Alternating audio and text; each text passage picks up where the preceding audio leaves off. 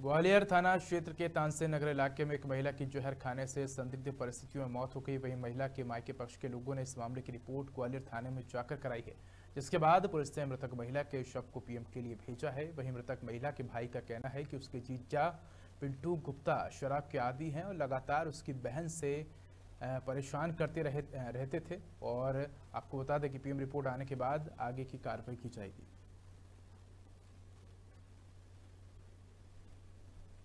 ये अपना दर्द। तो बस हमारा यही कहना है कि उसके साथ में जो भी हो जेनुअन कार्रवाई। उनके पति का मैं बहन ने नहीं दिया था बहन के नाम पे उसने पति ने ले रखा है? उसका सुबह से उसको दारू लग जाती है शराब पीना जुआ खेलना ये उसका काम है। इसलिए उसने अपनी वाइफ को इसीलिए मारा हुआ है। चली गई है उसके बच्चों को इंसाम मिले कि उसके संग में जो हुआ गलत हुआ है बीस सालों से वो बता नहीं पा रही है अपना दर्द। तो बस हमारा यही कहना है कि उसके साथ में जो भी हो जेनुअन कार्रवाई। खर्चा क्यों ले रखा था? उनके पति का, मैं बहन ने नहीं दिया था, बहन के नाम पे उसने पति ने ले रखा है? उसका सुबह से उसको दारू लग जाती है, शराब पीना, जुआ खेलना, ये उसका काम है।